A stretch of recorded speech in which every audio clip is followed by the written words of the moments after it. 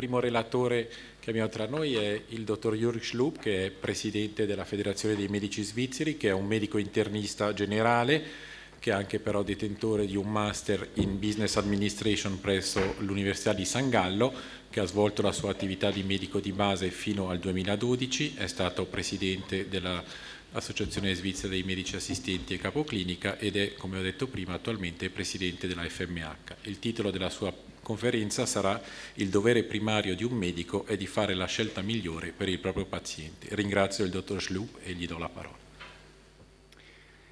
Grazie, egregio Consiglio di Stato Beltramelli. Eh, la sua presenza è un grande onore per eh, noi e il simposio, è un importante segnale per questo Choosing Wisely subject. Uh, ladies and gentlemen, uh, I change to English because uh, il mio italiano non è troppo bello.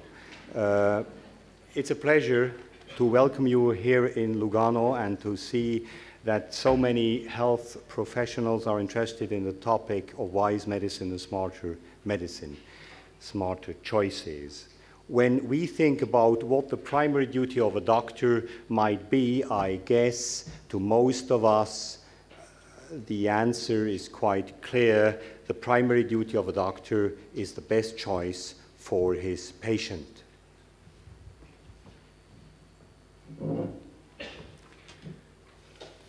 This duty was already expressed approximately 2,000 years ago in the Hippocratic Oath with the statement, My visit shall be for the convenience and advantage of the patient and similarly the Declaration of Geneva put forward by World Medical Association includes the sentence, the health of my patient will be my first consideration.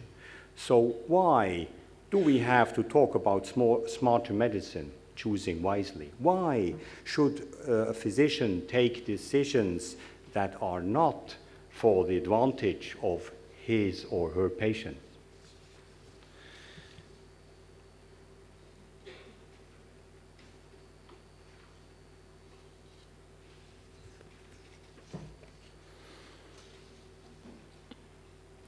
I read an interesting article in the British Medical Journal where the authors stated that, as you can see here, unbalanced, unbalanced decision making results from a culture where the onus is on doctors to do something at each consultation.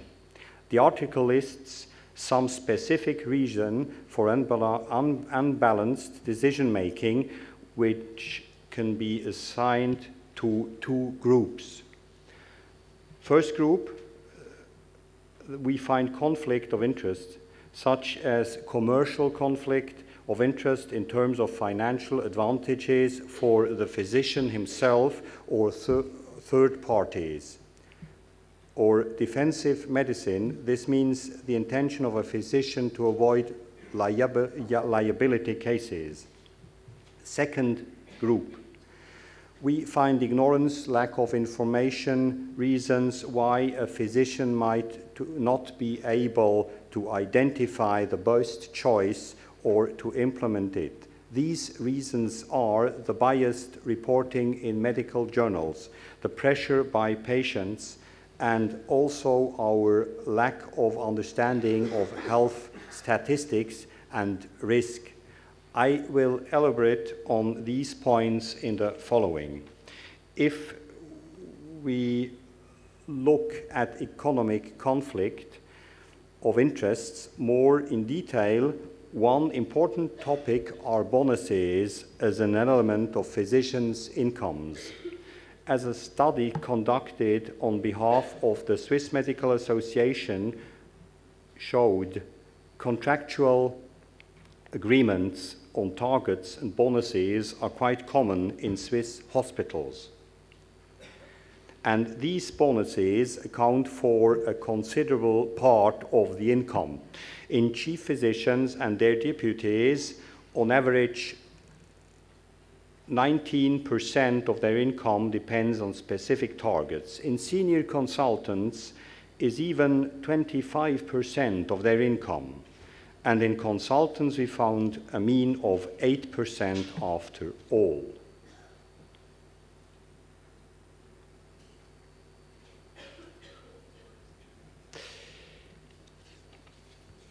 One result of a study of Professor Nikola Biller Andorno shows, and that's this slide, I save a bit time.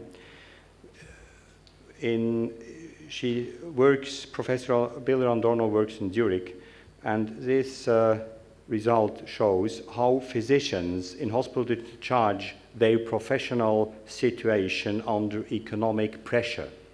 They were asked how they personally would trade the economic interest of the hospital against the patient's interest and well being. The physician found, on average, that in an ideal situation, in physician's point of view, the balance of interest between the hospital side, here given uh, 0, and the patient's side, here given a 10, would be 7.7. However, when they were asked how the balance is in their real life current job, they reported on average a value of 5.5. So physicians are forced to weight patients' interests in Switzerland less in everyday's work than they would like to. However, the economic conflicts of interests are only a small part of the picture. If you look this list, including the five measures that were published in 2014 with, uh, the, by the Swiss Association of Internal Medicine, in order to reduce unnecessary treatments, you can see that regarding these interventions, economic pressure and interest are not very likely to play a role. When I think about what drives physicians to perform useless interventions, I rather assume motives such as defensive medicine, patient pressure, simply the wish to do something, the, the lack of statistical knowledge, or simply habits and ignorance. Defensive medicine. In simple words, this term describes that physicians sometimes depart from normal medical practice as a safeguard for litiga litigation. This can mean the avoidance of risky procedures, but what is more interesting here is overtreatment. Because of the fear of a lawsuit, with all its personal and reputational consequences. This phenomenon is not particular to the US, but is also observable in Switzerland. Beside the fact that uh, there might be legal reasons to rather act than wait, it is also a human trait to behave in that way. I would like to tell you an example which I found in a book by Rolf Dobelli. He calls it the action bias. He refers to a study that analyzed hundreds of penalty situations in soccer. The player who has to convert a penalty kicks in one third of cases to the left, in the middle, or to the right. But what does the keeper? In approximately 50% of cases, he jumps to the left, and the other 50% he jumps to the right. Never, never he kept staying in the middle. Why? Dobelli says because he does not want to stand like an idiot in the middle of the goal while he misses the ball at the right or at the left.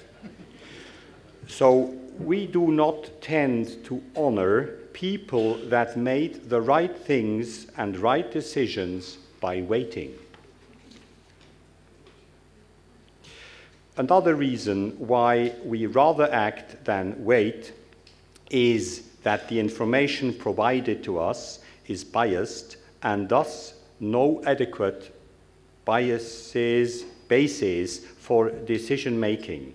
In this picture, you can see the way of a scientific article before it is published. At each station, the probability for a study with positive results has a higher chance to reach the patient.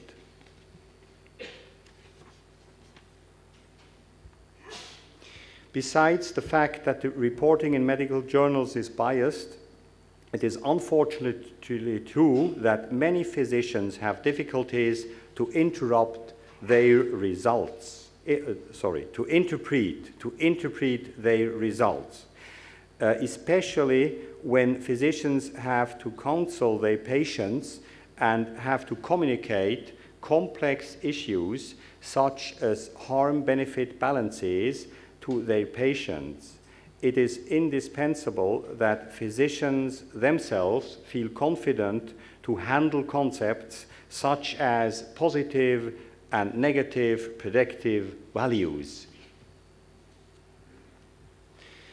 Another challenge is that even when physicians and patients understand the probabilities, it is highly individual how they are judged. A study published recently in the British Medical Journal asked people from a general population sample how much over detection they accept in the, in the following scenarios.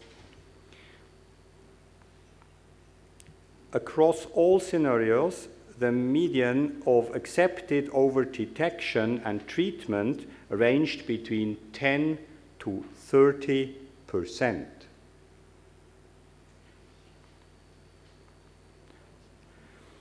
I think these numbers show that acceptance of overdetection is highly variable and that some patients might have a tendency to accept inappropriately high side effects in order to reduce the probability to die from cancer.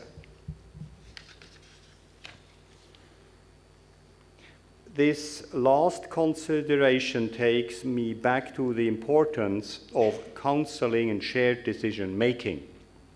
As you all knew or know, shared decision making is not only less profitable compared to simply applying diverse tests and treatments, above all, it is time intensive. And unfortunately, time is a limited resource in everyday clinical life.